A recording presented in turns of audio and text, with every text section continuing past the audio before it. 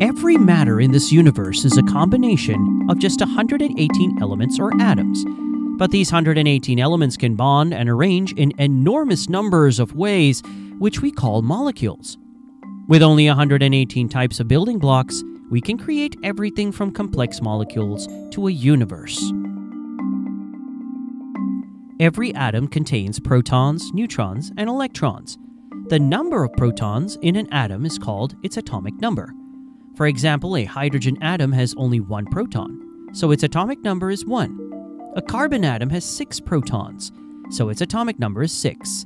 A gold atom has 79 protons, so its atomic number is 79. The number of protons in an atom determines the kind of atom or element. So, first we give numbers to the atoms and order them with their atomic numbers. Here, at the top of the table, we keep the hydrogen atom with an atomic number of 1. The atom with an atomic number of 118 is the oganesson, so we place at the very end of the table.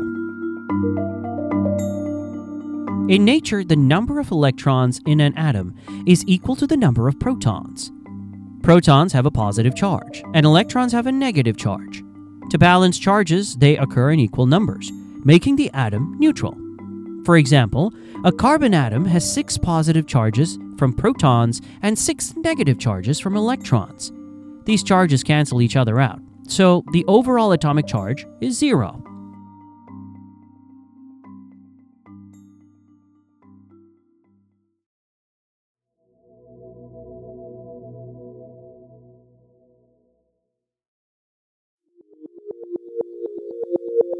Electrons orbit the nucleus in different shells.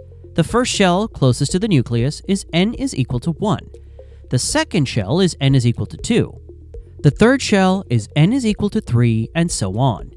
The formula for finding the maximum number of electrons a shell can hold in a shell is 2n square. So the first shell can hold up to 2 electrons, second shell up to 8, third shell up to 18, fourth shell up to 32 electrons. This arrangement is known as Bohr's model of electron configuration. Now take a potassium element which has 19 protons and 19 electrons. Its electron configuration is the first shell has 2 electrons, second shell 8 electrons, and third shell 8 electrons, and in the fourth shell 1 electron. But here is one confusion. Since the third shell can hold up to 18 electrons, why does it have only 8 electrons instead of 9? To understand this, we need to look into subshells, which are introduced by the quantum model. Each shell is divided into subshells S, P, D, and F. The S subshell can hold up to 2 electrons. The P subshell can hold up to 6 electrons. The D subshell can hold up to 10 electrons and the F subshell can hold up to 14 electrons. The first shell has only one subshell, which is S, so it can hold two electrons. The second shell has two subshells, S and P, so it can hold 2 plus 6 total of 8 electrons. The third shell has three subshells, S, P, and D, so it can hold 2 plus 6 plus 10, total of 18 electrons. The fourth shell has four subshells S, P, D, and F. So it can hold 2 plus 6 plus 10 plus 14 total of 32 electrons. So far, everything matches with Bohr's model in terms of capacity. However, electrons start filling from the lowest energy levels. To understand this, we need to look into Madelung's n plus L rule. This rule determines the order in which electrons occupy subshells. We already know that n is the shell number, the first shell is n is equal to 1, the second shell is n is equal to 2, and so on. But what is L? L is the quantum number of a subshell, called azimuthal quantum number. The S subshell, L is equal to 0, P subshell, L is equal to 1, D subshell, L is equal to 2, and F subshell, L is equal to 3. Now let's return to the potassium atom, which has 19 electrons. We wondered, since the third shell can hold up to 18 electrons, why does it have only 8 instead of 9? Here's where the Madelung's rule explains the order. Electron filling starts from 1s orbital. The first shell has 1s orbital. The second shell has 2s and 2p. The third shell has 3s, 3p, and 3d. And the fourth shell has 4s, 4p, 4d, and 4f. The number before each subshell is the shell number. Orbitals with lower n plus l values fill first. For the 1s orbital, n is equal to 1, l is equal to 0, so the n plus l value is 1. Thus, electrons fill the 1s orbital first. The s orbital can hold two electrons, so potassium's first two electrons go here, leaving 17 electrons. The second shell, which has the 2s and 2p subshells, can hold up to 2 plus 6 total of 8 electrons. Applying the n plus l rule, the 2s orbital has an n plus l value of 2, and the 2p orbital has an n plus l value of 3. Thus, electrons fill the 2s orbital and then 2p orbital. 8 electrons are occupied in the second shell, leaving 9 electrons. Next, we move on to the third shell. It has 3 subshells 3s, 3p, 3d, and can hold up to 2 plus 6 plus 10 total of 18 electrons. Here we will apply the n plus l rule. So the 3s orbital has a value of 3, the 3p orbital has a value of 4, and the 3d orbital has a value of 5. This means electrons will first fill the 3s orbital, then the 3p orbital, and finally the 3d orbital. But there is one more thing that needs to be considered. Look at the 4s orbital of the fourth shell. Its n plus l value is 4, which means it has lower energy than the 3d orbital. Therefore, after 2 electrons fill the 3s orbital and 6 electrons fill the 3p orbital, the next remaining 1 electron will enter the 4s orbital instead of the 3d orbital, because it has a lower n plus l value than the 3d orbital. Thus, the electron configuration of a potassium atom is 1s2, 2s2, 2p6, 3s2, 3p6, 4s1. This is why the electron arrangement of the potassium atom is 2881, not 289. In a potassium atom, the first shell has 2 electrons, the second shell has 8, the third shell has 8, and the fourth shell has 1 electron. If we apply n plus L rule to the rubidium element, the electron configuration will be 1s2, 2s2, 2p6, 3s2, 3p6, 4s2, 3d10, 4p6, 5s1. Here the 4s orbital is filled before the 3d orbital, and the 5s orbital is filled before the 4d and 4f orbitals.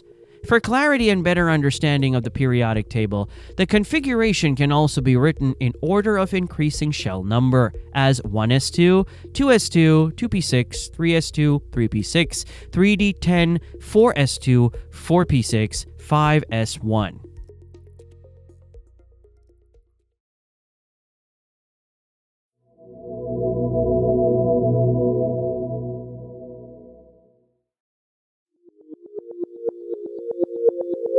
For the potassium element, the fourth shell is the outermost shell, which contains one electron. This electron is called a valence electron. In a potassium atom, the valence electron is placed in the s orbital, similar to potassium. Other elements also have only one valence electron in the s orbital. Hydrogen, lithium, sodium, rubidium, cesium, and francium. So we arrange these elements in a vertical column in order of increasing atomic number. Hydrogen, with an atomic number of 1, is placed at the top of the column, while francium, with an atomic number of 87, is placed at the bottom. We name this column Group 1, so all elements in Group 1 have one valence electron in the s orbital. Now, let's look at the electron configuration of the calcium element. It has two valence electrons in the s orbital, so we will arrange the same type of elements in another column, in order of increasing atomic number. In this column, we will have helium, beryllium, magnesium, calcium, strontium, barium, and radium. We name this column Group 2. The s orbital can hold a maximum of 2 electrons. After that, we begin filling the p orbital. For example, an aluminum atom has 13 electrons, and its electron configuration is 1s2, 2s2, 2p6, 3s2, 3p1. Here, we can see the last energy level ends in a p orbital with one valence electron. And look at the gallium atom. it has 31 electrons. Then the electron configuration of this atom will be 1s2, 2s2, 2p6, 3s2, 3p6, 3d10, 4s2, 4p1. This atom also ends with a p orbital with one valence electron. Similarly, other elements such as boron, indium, thallium, and nihonium have single valence electrons in p orbital.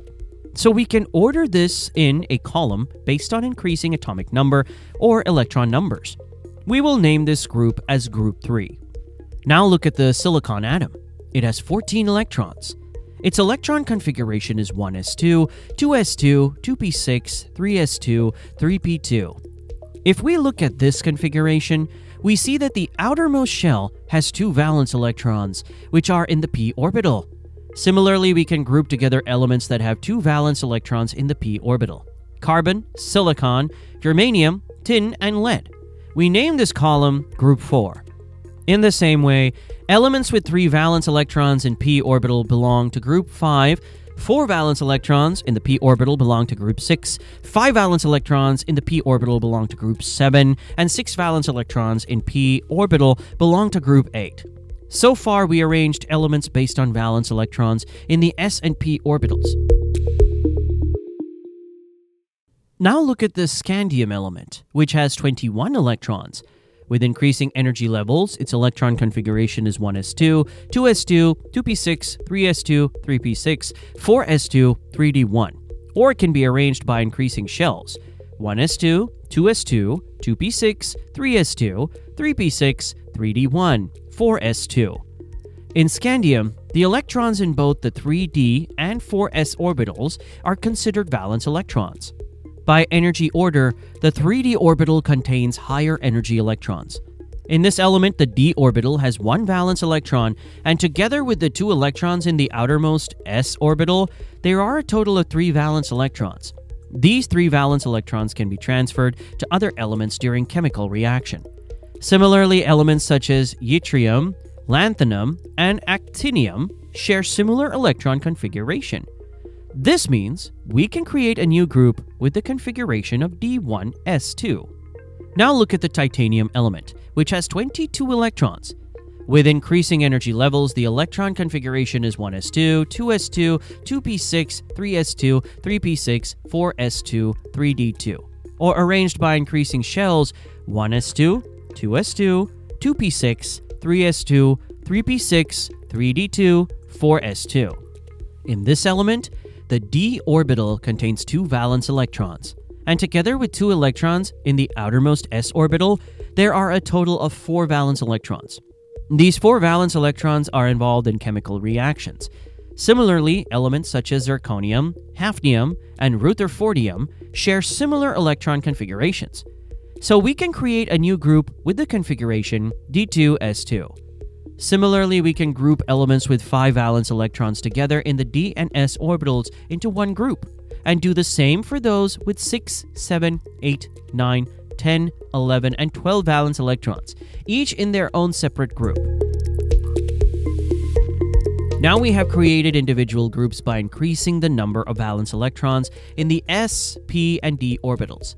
Apart from these arranged elements, the remaining ones are those in the f orbital, we can arrange these in a separate group. If we look at the electron configuration of elements with f orbital valence electrons, it may feel little confusion due to the presence of more electron shells. However, since all f orbital elements are grouped together in a single section of the periodic table, it will not affect our overall understanding. So let's stop here for now and continue with the s, p, and d orbital elements.